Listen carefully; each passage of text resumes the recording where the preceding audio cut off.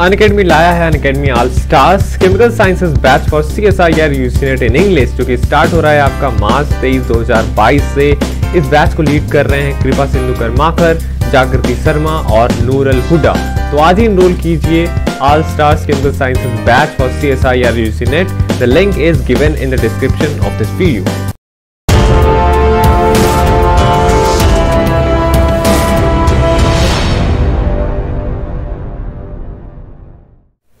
hello friends welcome to channel master of botany मैं हूँ आपका दोस्त विनय कुमार सिंह। पिछले वीडियो में हमने साइकिल्स के बारे में पढ़ा था, उसके जनरल फीचर्स के बारे में पढ़ा था, सारे इंपॉर्टेंट पॉइंट मैंने आपको उसमें बता दिया था। और आज हम बात करते हैं साइकिल्स के रिप्रोडक्शन के बारे में।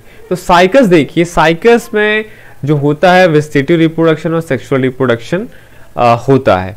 ठीक, अब यहाँ पे आप देखेंगे कि वेस्टेटिव रिप्रोडक्शन जो होता है, उसमें जैसे एडवेंटिशियस बर्ड से भी हो सकता है बल्बिस भी बन सकता है, जो कि मोस्ट कॉमन पूछे जाने वाला क्वेश्चन है ये कि बल्बिस जो होता है, किसमें बनता है, किस जिम्नोस्पोम में? या सकल्स भी विजिटिव रिप्रोडक्शन में पार्ट ले सकते हैं साइकस के। मेनली हर जगह बल्बिस ही लिखा रहता है और आपको बल्बिस ही याद रखना है मेनली सेक्सुअल रिप्रोडक्शन पे आ जाते हैं तो आप हमेशा से याद रखिएगा, ये भी पूछा जाता है कि साइकस किस प्रकार का प्लांट है। तो साइकस एक डायसियस प्लांट है। डायसियस का प्लांट आप ऐसा याद रखिएगा, जैसे आपने पपाया का पेड़ देखा होगा। वहाँ पे मेल प्लांट अलग होता है फीमेल प्लांट अलग होता है। ठीक है? कभी कभी आपसे बोला जाता है कि पपाया का प्लांट मेल हो गया है। डैट मीन्स वहाँ पे आपको फ्रूट नहीं मिलेंगे, क्योंकि लोग जो होता है फ्रूट के लिए ज़्यादा कंसर्न रहते हैं। तो अगर आपने मेल पपाया का प्लांट लगा दिया तो वो आपको फल मिलने वाले नहीं है। तो ऐसे ही डायसियस प्लांट का ये एग्ज़ाम्पल है पपाया ऐसे साइकस भी एक डायसियस प्लांट होता है, उसमें मेल प्लांट अलग होता है और फीमेल प्लांट अलग होता है। कभी भी आप साइकस का प्लांट देखिए तो पहचानने की कोशिश कीजिए। कैसे पहचानेंगे? फीमेल रिप्रोडक्टिव ऑर्गन आपको अगर वहाँ पे दिख रहा है तो वो फीमेल प्लांट है। और अगर मेल रिप्रोडक्टिव ऑर्गन्स वहाँ पे दिख रहे हैं तो वो मेल प्लांट है। तो ऐसे आप पहचान सकते हैं कि डायसियस प्लांट है कोई कि नहीं। ठीक, और ये हेड्रोस्पोरस होते हैं, और तो आगे यहाँ पे कॉमन हो जाती है। हम सबसे पहले मेल प्लांट की बात करते हैं साइकस की। जो मेल प्लांट होता है, क्योंकि रिप्रोडक्शन की बात कर रहे हैं हम तो हम कंसर्न रहेंगे जो रिप्रोडक्टिव ऑर्गन्स हैं उनके। तो मेल प्लांट पे हम मेल कोन की बात करते हैं। अब खास बात ये है कि मेल प्लांट पे मेल कोन बनता है। मतलब जो ऐसे स्पोरोफिस जहाँ पे स्पोरेंजियम रहता है, वहाँ पे कोन रहता है। ठीक है? मतलब जो मेल के स्पोरोफिस है, वो कोन बनाते हैं। ठीक है? क्योंकि मैं ये ये चीज़ आपको इसलिए बता रहा हूँ क्योंकि फीमेल प्लांट में जो मेगा स्पोरोफिल्स रहते हैं, वो ऐसे ही रहते हैं, कोन नहीं बनाते। कोन का मतलब हो गया कि कॉम्पैक्ट बन गया। ठीक है? तो इसमें मेल का कोन बनता है? और ये कोन जो होते हैं प्लांट किंगडम में लार्जेस्ट होते हैं। और ये जो मेल कोन बनते हैं, ये स्टेम के अपेक्स पे बनते हैं। मतलब स्टेम जैसे ग्रो करता हुआ जा रहा है, उसके टॉप पे बन गया। ठीक? और क्योंकि जब टॉप पे बन गया तो जो स्टेम आगे का होगा, वो सिम्पोडियल हो जाएगा। सिम्पोडियल का मतलब बगल से ब्रांच नया निकलेगा, उसका एक्सेस नया हो जाएगा। ठीक? और ये जो मेल कोन होता है, इसका एक शॉर्ट स्टाक होता ईच मेल कौन है? सेवरल माइक्रोस्पोरोफिल अरेंज स्पाइरली मतलब वो जो मेल कोन रहता है उसमें जो माइक्रोस्पोरोफिल्स हैं मतलब माइक्रोस्पोरेंजिया बियरिंग लीव्स वो स्पाइरली अरेंज होते हैं। अब ये जो माइक्रोस्पोरेंजिया होते हैं, ये ऐसे अकेले नहीं होते लीफ में। ये ढेर सारे माइक्रोस्पोरेंजिया ग्रुप्ड रहते हैं, जिन्हें सोराई बोला जाता है। और ये ये जो आपका माइक्रोस्पोरोफिल है, इसके लोअर सरफेस पे पाए जाते हैं, क्योंकि ये पूछा गया है। ये भी पूछा गया है कि जैसे सिम्पोडियल है कि नहीं, इसलिए मैंने इसको रेड से किया है। ऐसे ये भी पूछा गया है कि माइक्रोस्पोरेंजिया कहाँ पे मिलते हैं? अपर सरफेस पे माइक्रोस्पोरोफिल के या लोअर सरफेस पे? तो आप क्या बोलेंगे? लोअर सरफेस पे, जिसको टेक्निकल टर्म एबेक्सियल होता है। और अपर सरफेस का टेक्निकल टर्म क्या होता है? एडेक्सियल होता है। तो ये माइक्रोस्पोरोफिल के लोअर सरफेस पे पाया जाता है। अब देखिए, जो डेवलपमेंट होता है माइक्रोस्पोरेंजिया का, वो यूजपोरेंजिया टाइप का होता है। ये मैंने इसलिए बता दिया क्योंकि टेडोफाइट आपने पढ़ा होगा ये कॉमन क्वेश्चन है कि यूजपोरेंजिया टाइप का होता है या लेप्टोस्पोरेंजिया टाइप का होता है तो जिम्नोस्पर्म में आ, या साइकस में आप कह लीजिए यूस्पोरेंजिया टाइप का होता है मेनली यूस्पोरेंजिया टाइप का ही यहाँ पे आपको स्पोरेंजिया का डेवलपमेंट देखने को मिलता है। अब ये जो होता है माइक्रोस्पोरोफिल पे माइक्रोस्पोरेंजिया होंगे लोअर सरफेस पे ढेर सारे जो ग्रुप रहेंगे सोराई में अब एक एक माइक्रोस्पोरेंजिया में माइक्रोस्पोर बनते हैं। या जिसे पॉलिन बोलते हैं। इसका शेप जो होता है, ये इंपॉर्टेंट होता है क्योंकि ये बोर्ड शेप का होता है और ये भी एग्जामिनेशन में आपसे पूछा जाता है। और ये जो पॉलन ग्रेन है मेल प्लांट से या माइक्रोस्पोरेंजिया से किस सेल स्टेज में रिलीज़ होता है? थ्री सेल स्टेज में। देखिए, जब माइक्रोस्पोर बनेगा तो उसमें एक न्यूक्लियस रहेगा, फिर बाद में वो न्यूक्लियस डिवाइड करता है माइटोसिस से। क्योंकि जो माइक्रोस्पोर रहते हैं, ये क्या होते हैं? हैप्लॉइड होते हैं। प्लांट तो डिप्लॉइड है माइक्रोस्पोरेंजिया पूरी डिप्लॉइड होगी, लेकिन जब उसमें माइक्रोस्पोर बनेंगे, तब ये हैप्लॉइड होंगे। और इसका जो न्यूक्लियस है, उस बाद में मियोसिस नहीं होगा, फिर उसमें माइटोसिस होगा। तो एक से बनेगा दो सेल और फिर क्या होता है?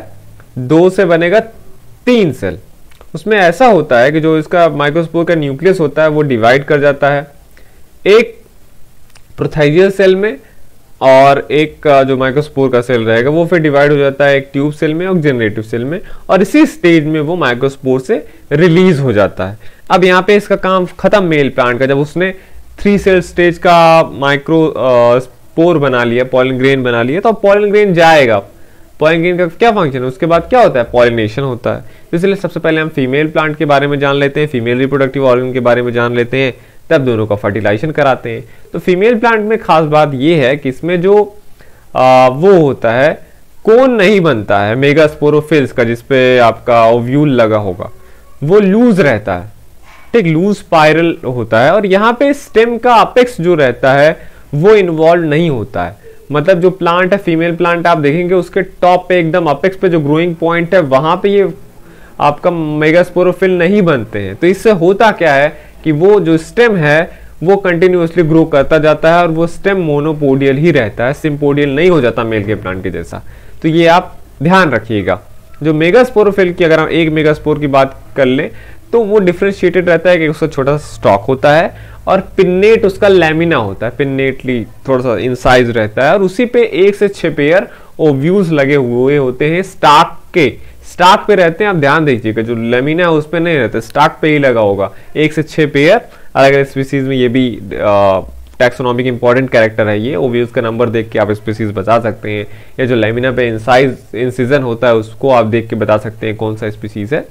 तो एक से छह पेयर के ओव्यूल उस पर स्टाक के लेटर साइड लगे हुए होते हैं, और ये ओव्यूल जो होता है मेनली ऑर्थोटॉपस होते हैं।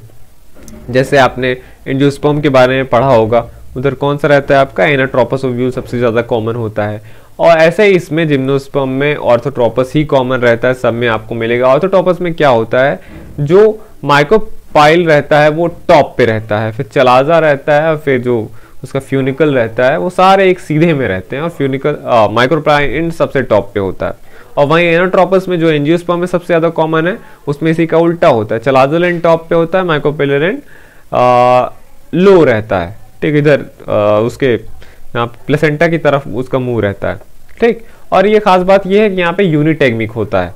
यूनिटेगमिक का मतलब ओव्यूल पे जो उसका एक कवरिंग होती है, वो एक ही कवर रहता है। तो और एक खास बात और है कि यहाँ पे जो ओव्यूल्स होता है, वो प्लांट किंगडम में लार्जेस्ट होता है। ठीक? और ओव्यूल के पास एक लार्ज माइक्रोपाइल होता है पॉलन चैम्बर भी उसमें होता है न्यूसलेस होता है और इसके जो इंटेगमेंट है, रहता तो ये यूनिटेगमिक है मतलब इंटेगमेंट एक ही पाए जाते हैं, लेकिन वो भी जो एक इंटेगमेंट है, वो तीन डिस्टिंक्ट लेयर में डिविजिबल होता है।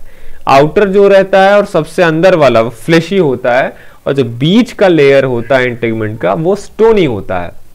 और खास बात यह है कि ओव्यूल में तीन मेन वेस्कुलर स्टैंड आए रहते हैं। ठीक? अब जो ओव्यूल है, उसका क्या काम है? मेगास्पोर बनाना। जिससे माइक्रोस्पोरेंजिया के अंदर माइक्रोस्पोर बना, वैसे ओव्यूल क्या है? ओव्यूल एक मेगास्पोरेंजियम है। और मेगास्पोरेंजियम का फ़ंक्शन क्या है? मेगास्पोर बनाना। ठीक? मेगास्पोर जैसे आप ट्रेडोफाइट में देखते थे माइक्रोस्पोर जर्मिनेट करके मेल गेमेटोफाइट बनाता था और मेगास्पोर जर्मिनेट करके फीमेल गेमेटोफाइट बनाता था। तो पॉलन ग्रेन्स क्या है? पॉलन ग्रेन मेल गेमेटोफाइट जो मैं आपको बता चुका हूँ, और वो थ्री सेल स्टेज में डहिश हो गया। अब मेगास्पोर रहता है ओव्यूल के अंदर, ये क्या बनाएगा? मेल या फीमेल गेमेटोफाइट की बात कर लेते हैं। माइक्रोस्पोर जो आपका तीन सेल स्टेज में शेड हुआ, ये इसका फर्दर डेवलपमेंट कब होगा? जब पॉलिनेशन हो जाएगा। माइक्रोस्पोर रिलीज़ होगा, जाके पॉलिन चैम्बर में जाएगा ये। फिर वहाँ पे जो जनरेटिव सेल है थ्री सेल स्टेज में मैंने आपको क्या बताया था? एक प्रोथेलियस सेल रहता है, एक ट्यूब सेल रहता है, एक जनरेटिव सेल रहता है। ठीक है तो यहाँ पे जो आपका आ, ये हुआ जनरेटिव सेल होगा वो पॉलिनेशन के बाद डिवाइड करके एक स्टॉक सेल बनाएगा एक बॉडी सेल बनाएगा। अब स्टॉक सेल वैसे का वैसे रहता है जो बॉडी सेल है ये डिवाइड करके दो एंटीरियरली मल्टीफ्लैजलेट एंथेरोजॉइड बनाएगा जो कि इनके जो एंथेरोजॉइड होते हैं जो स्पर्म होते हैं ये भी लार्जेस्ट होते हैं प्लांट किंगडम में। तो बहुत सारे यहाँ पे चीज़ें हैं जो लार्जेस्ट इन प्लांट किंगडम है और साइकिल से रिलेटेड है। ठीक, अब मेगास्पोर की बात कर लेते हैं, जो हमने पढ़ा अभी जो, ठीक है, इसमें, अब फीमेल प्लांट में लास्ट में बना मेगास्पोर जो कि ओव्यूल के अंदर बना। अब जो मेगास्पोर रहता है, वो फीमेल प्रोथैलस बनाता है, जिसको इंडोस्पम बोलते हैं। इंडोस्पम इसमें हैप्लॉइड होता है, क्योंकि फर्टिलाइजेशन से पहले बनता है। वहीं एंजियोस्पर्म में आपने देखा था कि जो इंडोस्पम था, वो फर्टिलाइजेशन के बाद बनता था ट्रिपल फ्यूजन के बाद, इसलिए वो ट्रिप्लॉइड होता था। तो फीमेल प्रोथैलस बना इसी फीमेल प्रोथैलस में मेगास्पोर फीमेल प्रोथैलस बनाएगा। इसी फीमेल प्रोथैलस में तीन से छह आर्चिगोनिया बनाते हैं कुछ सेल्स उसके प्रोथैलस के। और जो मेच्योर आर्चिगोनिया होता है, उसमें दो चार नेक्सेल्स होते हैं। वेंटर कैनाल न्यूक्लियस होगा एग न्यूक्लियस होगा।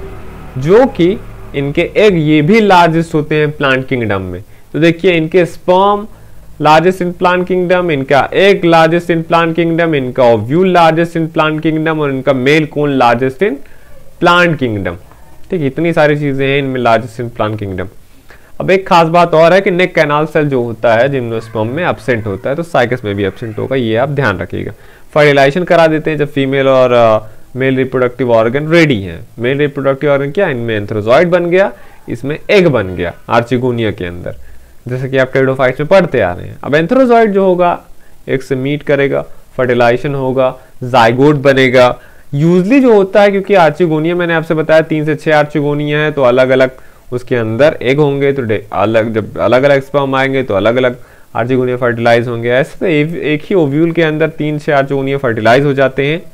और फिर क्या होता है? पॉलीएम्ब्रियोनी होता है। सारे के सारे एम्ब्रियो बनाने लगते हैं ही के अंदर, जिसको सिंपल पॉलीएम्ब्रियोनी या ट्रू पॉलीएम्ब्रियोनी कहते हैं। जब एक से ज़्यादा जाइगोट जो होता है, एम्ब्रियो बनाने लगता है, लेकिन ऐसे में एक ही एम्ब्रियो सर्वाइव करता है। तो अब जो होता है जाइगोट उससे बनेगा पहले प्रो एम्ब्रियो, फिर प्रो एम्ब्रियो जो है डिफ्रेंशिएटेड करेगा तीन रीजन में। एक माइक्रोपाइलर रीजन होगा जो कि हाउस्टोरियल रीजन है, जो कि एब्जॉर्व करता है न्यूट्रिएंट। माइक्रोपिलर एंड पे हाउस्टोरियल रीजन रहेगा, जिसका फ़ंक्शन है न्यूट्रिएंट एब्जॉर्व करना। मिडिल जो रीजन होता है सस्पेंसर रीजन होता है, जो कि एम्ब्रियो को इंडोस्पर्म में डीप पुश करता है। तो इसका भी कोई फ़ंक्शन पूछते हैं सस्पेंसर का क्या फ़ंक्शन है? और एक बेसल एम्ब्रियोनल वो होता है रीजन होता है, जो कि क्या बनाता है आगे चल के? कॉटिलेडन ठीक, अब ये तीन रीजन हो गए हॉस्टोरियल रीजन हो गया सस्पेंसर बन गया एम्ब्रियोनल रीजन हो गया यही एम्ब्रियोनल रीजन आपका आगे चल के दो क्वार्टिलेडन बनाते हैं। तो कोई आपसे पूछे, साइकस कितने क्वार्टिलेडनस है? तो दो क्वार्टिलेडनस है। लेकिन ये डाइकॉट नहीं है। हाँ इसमें दो क्वार्टिलेडन पाए जाते हैं। तो ये डाइकोटिलेडनस है, लेकिन डाइकॉट नहीं है। डाइकॉट एंजियोस्पर्म होते हैं। अब ये जो होता है, फिर पूरा का पूरा ओव्यूल जो है सीड में कन्वर्ट हो जाता है, क्योंकि ओव्यूल ही सीड में बनाते हैं सीड ही बनाते हैं। तो सीड जो होता है, जब ये जर्मिनेट करेंगे तो इनका जो कॉटिलिडनस लीव है, ये ज़मीन के अंदर ही रहता है, इसलिए इसको क्या बोलते हैं इनका जर्मिनेशन हाइपोगियल होता है। जैसे नीम का आप प्लांट देखेंगे।